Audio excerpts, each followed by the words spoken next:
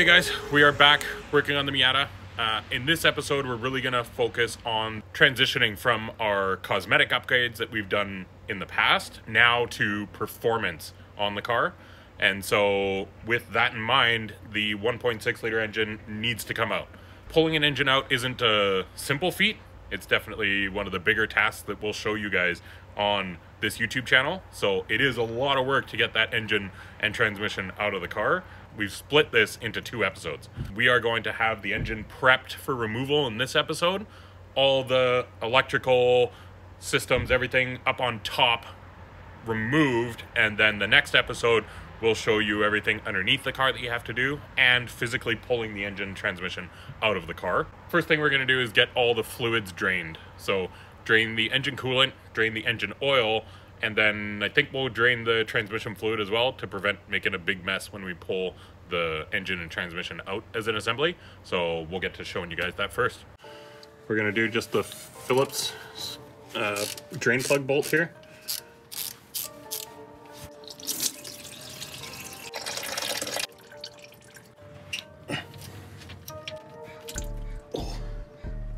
I'm gonna undo this clamp and separate the coolant hose while we're down here so that we can just get the radiator right out.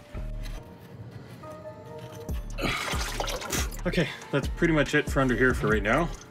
So first things first, always disconnect your battery. Located in the trunk, we want to disconnect the negative terminal.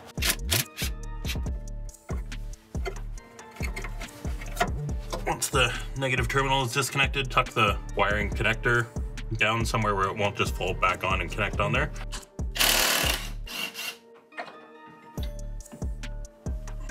I'm just gonna take the hood prop rod right out of here. There we go. Once the clip is undone, fold this side out and then slide the rod right out of the clip. I'm gonna take the air intake off as a complete unit.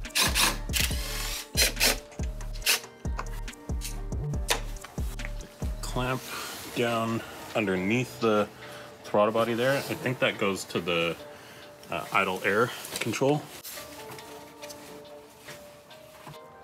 Disconnect your mass airflow meter wiring harness connector. There's a metal spring clip that goes all the way around. If you just pop it off on both sides loosely, you can pull the connector off and then push them back together so you don't lose that spring clip.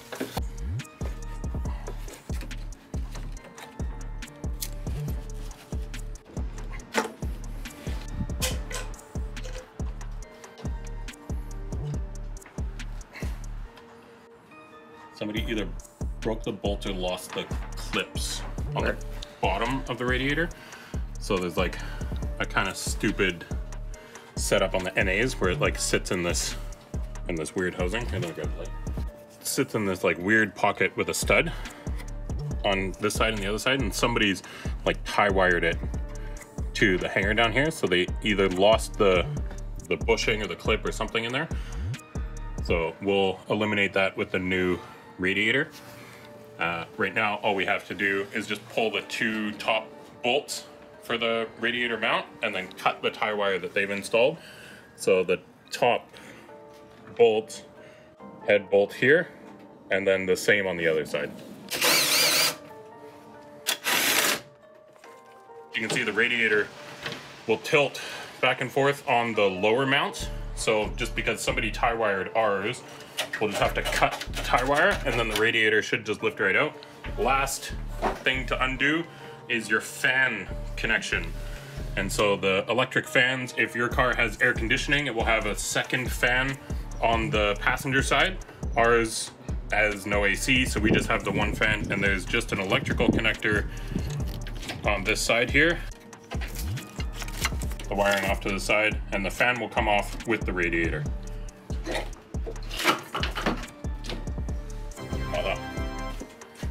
Um, there's going to be two wiring harnesses. This one controls idle air control. There's a coolant temp sensor and then the power steering pressure sensor, I believe, on this side. So we'll get that wiring harness out. The other wiring harness is going to be the injector and ignition harness.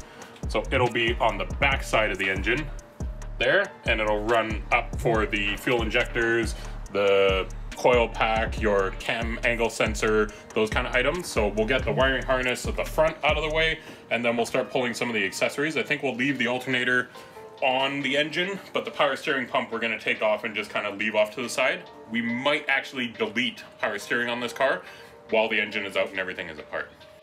We're also gonna be doing a coolant reroute while the engine is out. And so what that does is from the factory, this engine was originally designed to be in a front wheel drive car. So Mazda relocated the coolant inlet from the radiator from the back of the engine where it would be in a front wheel drive car to the front of the engine. So both of your coolant inlet and outlet for the upper and lower radiator hoses, one is here and the other is down at the back of the water pump. What that did is it starved the back two cylinders from proper cooling.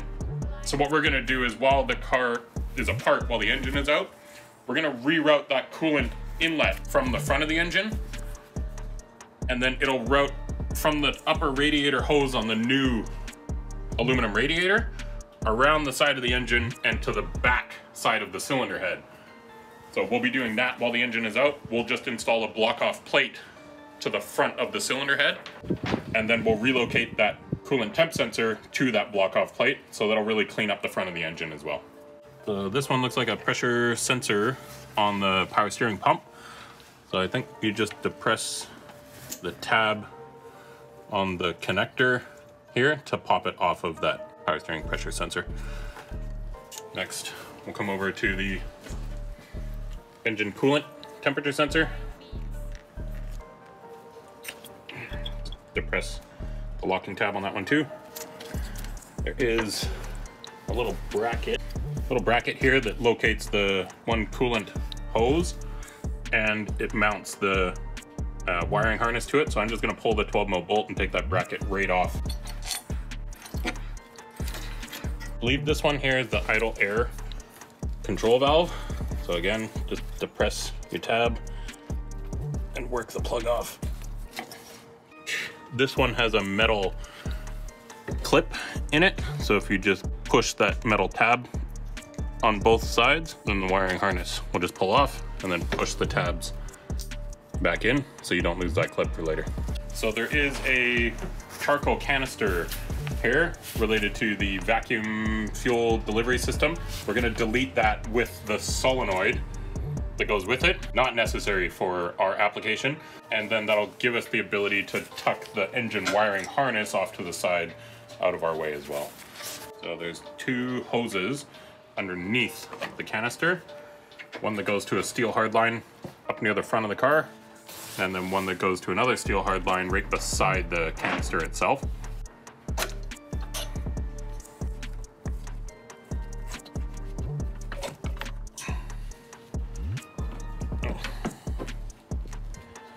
Gonna take this whole plastic clip right off the bracket. I'm gonna take the solenoid right off with this as one whole assembly. So we'll pull the 10 millimeter nut on the bracket, disconnect the wiring harness, and take everything out as one go.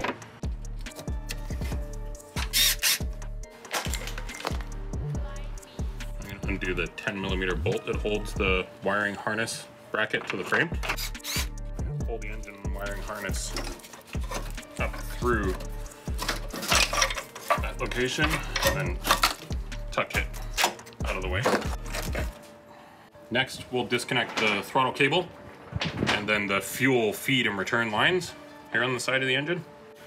You index the throttle plate to wide open throttle, and then you can just twist the cable to the open slot location and slide the cable out under the two 10 millimeter bolts from the intake manifold.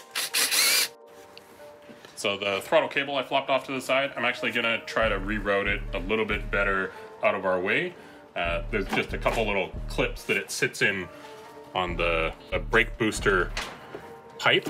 So I'm just gonna pop those off and then swing the whole throttle cable right over back to the driver's side to get it just completely out of the way.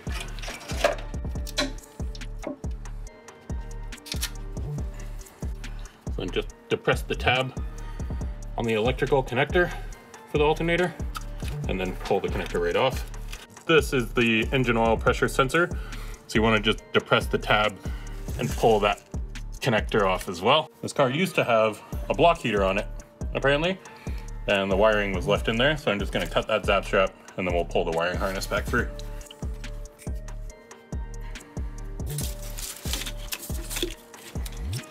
To pull the vacuum line to the brake booster. It has a rubber line here that goes to a metal hard line right across. So if you remember, we installed a cappuccino windshield washer bottle and I utilized one of the bolt locations for the brake booster vacuum hose to mount the bottle to. So I need to just remove the nut so that I can then access or pull the bolt out from the engine bay side.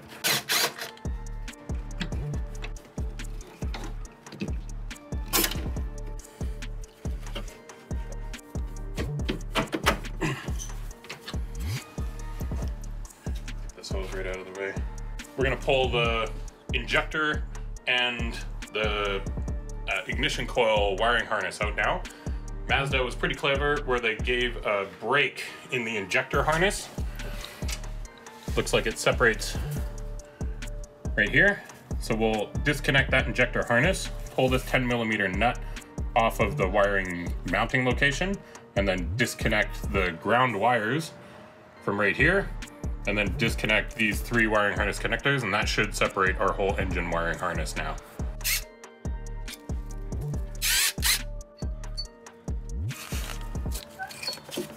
That one is for the ignition coils. This one is for the oxygen sensor. And this last one is your cam angle sensor. Ah, there. Looks like there's one more bracket and then the wiring that goes to the starter down at the bottom there. So we'll need to get this 10 millimeter bolt out and then reroute the wiring harness for the starter. Here on the frame, this one's pretty rusty. On the back of the starter, way underneath the intake manifold, there's a rubber cover that will stop the starter positive terminal from grounding out or arcing on anything.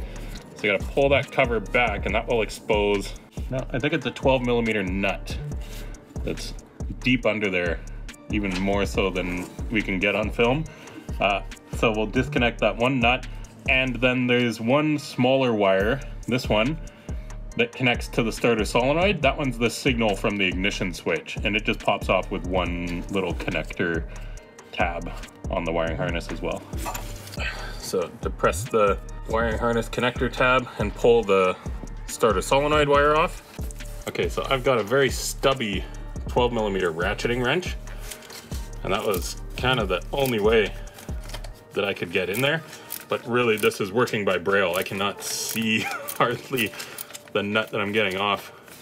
Once you've got it kind of two or three turns loose, usually because these have that rubber cover, the threads are pretty safe, so you can just get the rest of the nut off by hand and then slide the big wire right off.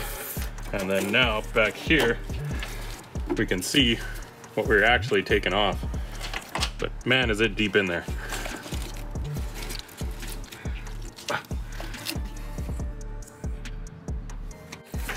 Okay, so now aside from fuel lines, engine mounts, and the transmission, the engine is pretty well free. If you remember uh, when we did the first gutted episode, we took the heater core right out. And so now on this side of the engine, we've got just a hose that loops the two heater hoses together. On your car, if you're pulling the engine out, you'll have to disconnect the heater core lines, which ordinarily would go into these two locations and the firewall. So we're gonna get the power steering pump and belt off now. So the adjuster is this kind of convoluted looking bracket here. So you have to loosen off the adjuster locking bolt here and then back off the adjuster and that will allow the pump to pivot and then you can pull the belt off. And then I think it's just one big bolt that goes through the pulley that you can access right there to get the pump right off. So we'll pull that locking nut loose. I'm gonna crack the mounting bracket loose as well. Just slack this one off. And then once you loosen the last bigger mounting bolt, the pump should just pivot over to be able to get the belt off. Actually, as you pry it away from the engine, that loosens the belt. So then I think I just gotta loosen that adjusting bolt a little bit more.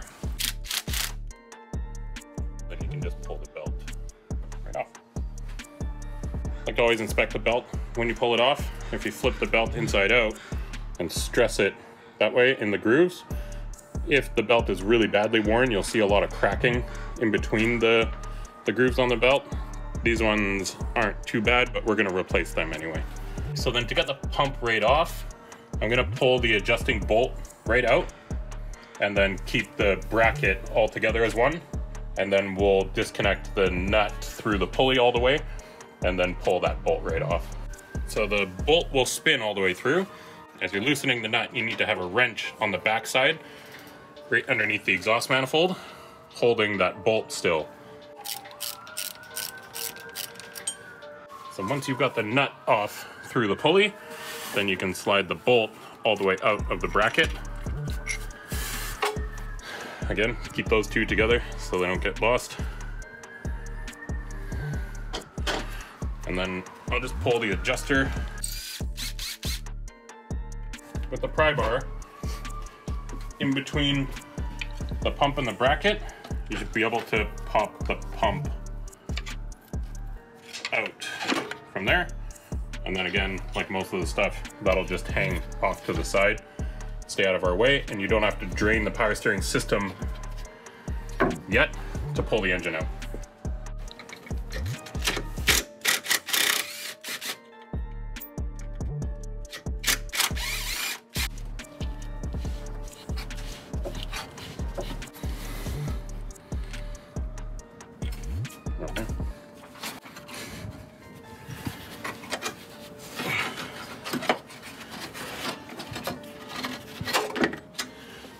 So this is what the lower radiator hose on a Miata looks like. Comes off the back of the water pump, goes to the frame mounted hose, and then it goes down to the bottom of the radiator. All of this is crap. These hoses here are like so hard and crusty, they're probably 30 years old. And this one you can see is starting to rust right through the hose. There's like flakes of metal that you can pick off with your fingers do not take your chances on something like this. Uh, overheating on an engine, blowing a coolant hose, something like that is one of the most common breakdowns that you can experience on track. We have a replacement one from Maruha in Japan.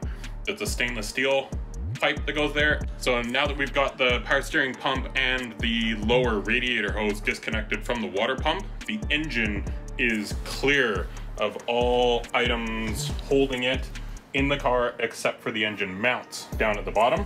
So once we're ready with the transmission and the drive shafts, all those items, then we'll disconnect the engine mounts and pull everything out as one unit out the front. We've got everything in the engine bay disconnected from the engine. We need to disconnect things like the exhaust, the drive shaft, the PPF that links the transmission to the rear diff to be able to free all that up to get the engine and the transmission out the front of the car. We'll show you those in part two of engine removal.